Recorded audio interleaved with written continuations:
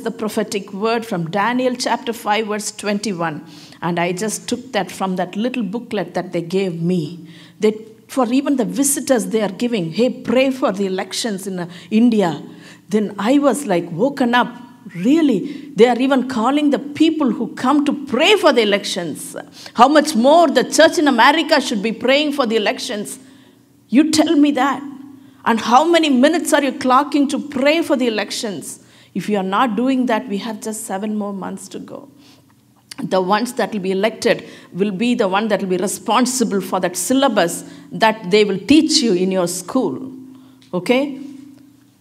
Th- those are the people that are forming the syllabus. If you pray, they will put the good things. If you don't pray, then there is no guarantee. Even the kids, I would encourage you to pray.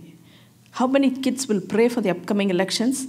Pray for this one point that the righteous people will be elected. Thank you, thank you, and thank you, thank you. Pray that righteous people will sit in that seats of power in all the seven mountains in the government. That's what we are going to pray for in the legislative, executive, judiciary. We will see the righteous people, the people that fear the Lord throughout the scripture. We see about the kings. The only thing that the Bible talks about it, whether or not they feared God. That's it. That's it. Whether or not they, they fear God. So, why should we not pray for the God fearing people to come to those elected positions and will sit on that seat of power with that?